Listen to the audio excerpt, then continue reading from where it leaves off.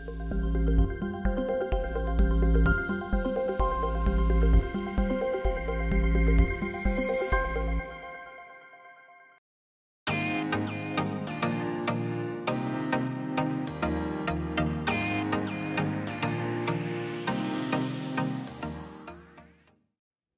pessoal, eu sou a professora Laís Pereira de Oliveira. Hoje vou falar sobre bases histórico-conceituais da classificação decimal de Dewey.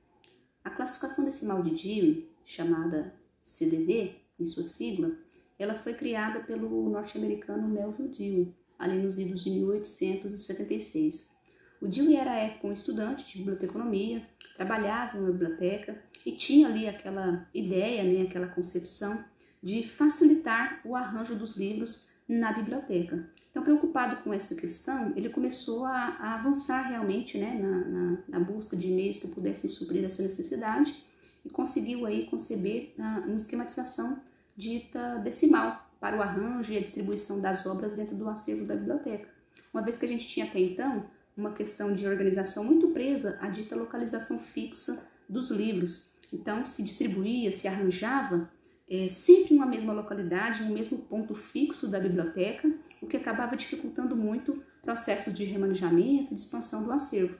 Com o Dewey, a gente começa a ter condição de fazer essa adequação, esse agrupamento das várias obras em um acervo de biblioteca, a partir do assunto que elas é, compartilham, digamos, e aí se reúne, se agrega ali aquele conjunto de assuntos semelhantes e se separa os assuntos diferentes. Então, essa base decimal numérica elencada na lombada das obras permitia realmente uma classificação, uma separação, uma divisão,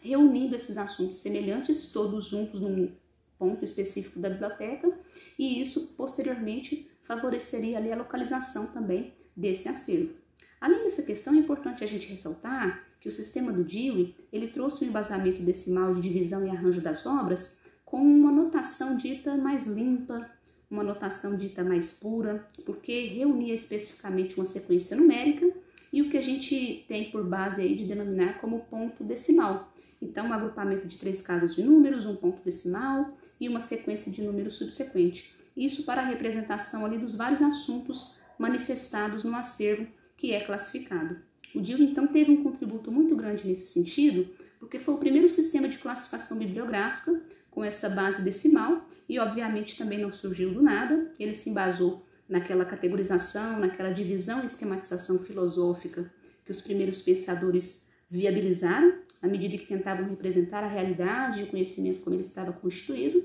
e ao mesmo tempo ele teve aí todo um arranjo, um pensamento em torno das questões ali relativas à, à mente, à razão,